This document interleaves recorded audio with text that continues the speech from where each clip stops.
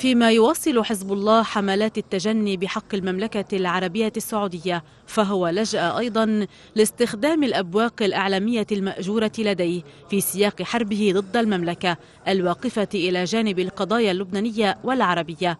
كتلة المستقبل النيابية رفضت حملات إعلام حزب الله السياسية والشعواء.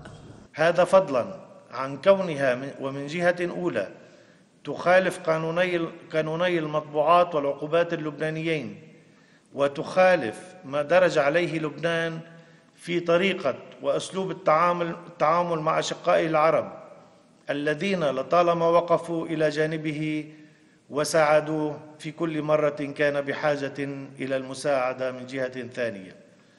وبكونها أيضا تعرض مصالح لبنان واللبنانيين للخطر وتجعلها عرضة للضغوط وردود الفعل من جهة ثالثة.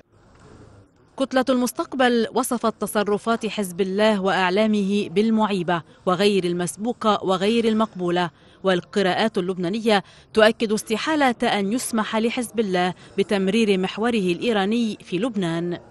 المملكة العربية السعودية لها موقف من بعض المحاور في المنطقة وحزب الله منتمي إلى هذه المحاور. لذلك يحاول بطبيعة الحال ربما أن يعبر عن مرجعيته الخارجية لكي يرسم لها سياسة في لبنان لكن باعتقادي أن هذا الأمر مستحيل جدا لأن العلاقات القائمة بين لبنان والأشقاء العرب بالتالي هي أكبر من التورط في أي محور.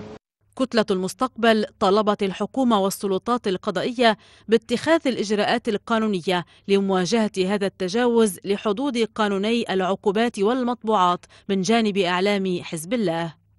حزب الله يعمل ويسعى لتخريب علاقات لبنان مع عمقه العربي ولبنان يؤكد في المقابل أنه عربي الهوية والانتماء. وهذا ما تجلى في الزيارة الأخيرة لرئيس الحكومة سعد الحريري إلى المملكة العربية السعودية. مرسل كرم الإخبارية بيروت.